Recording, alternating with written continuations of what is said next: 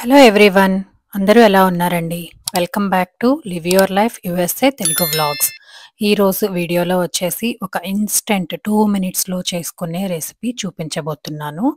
దీనికోసం మనం ఎటువంటి పొయ్యి ఆన్ చేయక్కర్లేదు అలాగే మిక్సీ పట్టక్కర్లేదు ఏమీ చేయక్కర్లేదండి. ముందుగా ఒక బౌల్లో వన్ టేబుల్ స్పూన్ బెల్లం పొడి అలాగే హాఫ్ టేబుల్ స్పూన్ కారం పొడి హాఫ్ టేబుల్ స్పూన్ సాల్ట్ అలాగే హాఫ్ టేబుల్ స్పూన్ చింతపండు పేస్ట్. ఇంకా ఇక్కడ ఇన్స్టెంట్గా సొంటి పొడి ఒక హాఫ్ టేబుల్ స్పూన్ తీసుకోవాలి. ఈ జింజర్ని డ్రై చేస్తే మనకి పొడి వస్తుంది కదండి అదే డ్రై జింజర్ పౌడర్ సొంటి పొడి. ఈ చింతపండు పేస్ట్ చూసారు కదండి దానిలో ఉన్న మాయిశ్చరే సరిపోయి ఈ విధంగా మొత్తం అన్నీ కలిపేటప్పటికి ఈ టెక్స్చర్ వచ్చిందండి. తర్వాత ఇందులో కొద్దిగా లూజన్ చేసుకోవడానికి వన్ స్పూన్ వాటర్ పోసుకొని మనకి కావాల్సిన కన్సిస్టెన్సీ వరకు కలుపుకుంటే ఇన్స్టెంట్గా టూ మినిట్స్లో చాలా టేస్టీగా మనం ఇంట్లోనే స్వయంగా బండి మీద దొరికే అల్లం పచ్చడి మించిన టేస్ట్తో రెడీ అవుతుందండి. రెండే రెండు నిమిషాలు చాలు మనం ఈ అల్లం పచ్చడి చేసుకోవటానికి.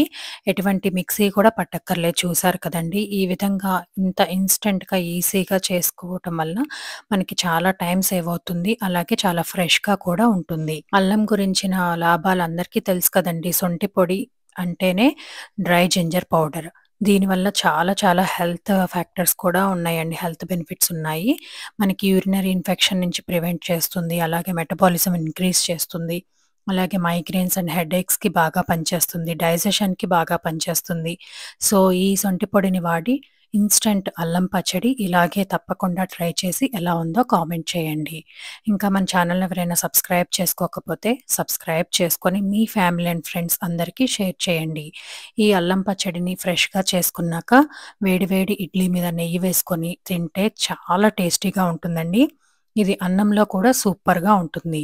అలాగే బెల్లము ఇంకా కారము మన కన్సిస్టెన్స్కి తగ్గట్టు మనం అడ్జస్ట్ చేసుకోవచ్చు. చింతపండు పేస్ట్ తయారీ వీడియో కూడా ఛానల్లో ఉంది. తప్పకుండా చెక్ చేయండి. Thank you